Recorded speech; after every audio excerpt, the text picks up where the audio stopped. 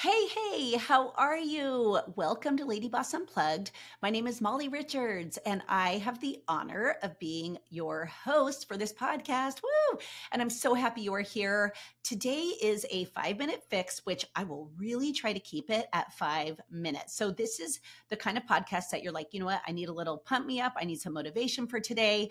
I need something good when the world seems to be very stressful, or, you know, you just need a break from the news and all that stuff. So I am so happy you are here. And I love this five minute fix because it's literally my recipe and my mom's recipe for a happy life. So, first of all, before I start, I want to say thank you for subscribing. Thank you for sharing this podcast. Thank you for sharing these episodes, whether it's through a text to somebody or maybe you're sharing it on your story on Instagram or Facebook or whatever. I'm so thankful for that. And thank you for giving your reviews. So be sure to do a review I love them. You make me cry when I read them.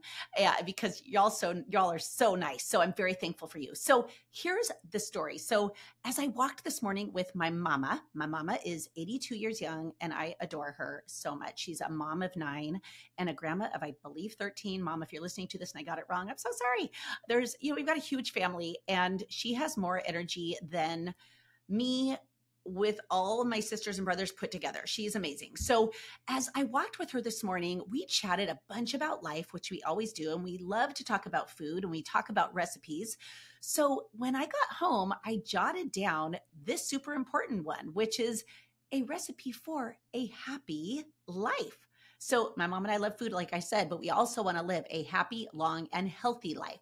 So, if it's cool with you, I'm going to give you this recipe of ours, and you could adopt a couple of the things or all of them, but I just want to share it with you in this five minute fix. So, number one, exercise at least 30 minutes a day. Yes, every day, at least 30 minutes. Pick something that feels good to you.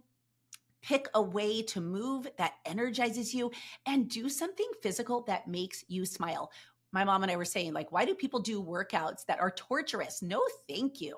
Uh, and so a walk is actually magical. I've shared that on a podcast episode already, and uh, it, uh, it's easy, right? Throw on a pair of shoes and go. Number two is food. So not only is it fun to make meals from scratch, but it's healthier too, right? So we always say, like, don't stress about your food I try not to put stress behind my food and my eating, but I do try to eat balanced. I try to eat the rainbow. I splurge now and then, of course, but I enjoy every bite. Same with my mom. We were like, we don't do diets because for us, a diet is like a four letter word. It's a little bit stressful and it takes the fun out of life. So the next thing is love. That is such an important ingredient to a happy, healthy, long life. And so feel gratitude for everything that you have, for everything that you do, everything that you give, and just love people. All you need is love, right? The Beatles had it right. My mom's a huge Beatles fan, so of course I had to share that here.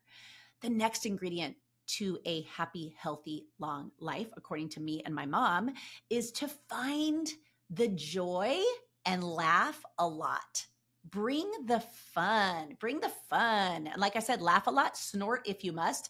I'm guilty of doing a snort now and then. Sorry. I won't do it on this podcast, but you know, a good belly laugh is so good for the heart, for the mind, for the soul. So find a reason to laugh at least once a day. You can do that by talking to a friend, by turning on YouTube, by watching something funny on TV, by reading something funny, of course, by going on social media or just whatever it is. Hang out with someone that just makes you laugh. The next ingredient for this recipe is to be a glass half full kind of person. So rather than half empty, wah, wah, wah, be that person who thinks positively. And guess what? When you think positive, it actually lowers your depression. It actually helps you cope during hard times and it increases your lifespan. So try to be that half full type of person, okay? Half full glass. Next is hydrate with water. Okay, this is so important. It is so important for your daily functions of your body, it is just a must. So drink water. Like as you're listening to this, go have some sip, sips of water and you'll feel so amazing. Many times when I feel lethargic or I have a headache or I think I'm hungry, it's because I'm actually thirsty. Or I could definitely tell on my skin. If you're watching this video right now, I'm like, ah, I need some water, like stat. So drink your water. Next is to love yourself. Love yourself love yourself so much it's so much easier to love others when we love ourselves so it's a it's a daily thing we have to check in with yourself but a way to do this is to choose three things a day that you love about yourself, that you like about yourself. Just three things a day. Tell yourself, hey, I love that you woke up today and you smiled. I love that uh, my hair is behaving today. I love that I have a family that loves me. I love that the sun is shining. Like, I love that I have energy to work out today. Whatever it is, love yourself. Stop being so hard on yourself, okay? Next is to spend time with friends you enjoy, friends who respect you, trust you, accept you, and just love you for you being you, even as you grow, evolve, and change. Choose friends that enrich your life. They make us feel good about ourselves. They make us feel good about being alive. And what I always say is be the friend that you want to have, be that supportive friend that checks in, with your friends. You know what I mean? You're like, hey, girl, how are you? Hey, I was just thinking of you. Uh, hey, you got this. I see you. I love you. I'm cheering for you. Be that friend if that's the kind of friend that you want. And it comes back. It's pretty amazing. And then another ingredient for a happy life, according to me and my mama, is to be kind, like always, not just when you feel like it, no matter what. Okay. And kindness is contagious. Okay. Next is to hug it out. Yeah if and when you can, give and get lots of hugs, like lots of them. My mom gives these amazing hugs where you're just like, oh my gosh, that felt so good. Can I have another one? So don't just tap, tap people, hug people. Hugs not only make us happier, but they can actually help lower our stress throughout the day. What? Yeah. So you have a prescription for hugs right now. I'm giving that to you. The next part of this recipe for a long, happy, healthy life is to sleep at least at least 7 hours a day. Okay. I've been getting like eight hours a day lately. I don't know. I'm just not into watching TV. I just kind of read a little bit before I go to bed. Sometimes I take a bath. I turn off all my electronics. Uh, sometimes I'll just meditate. I'll put on like some music from YouTube with like a black screen. It's pretty magical. You should try it. And I sleep so well.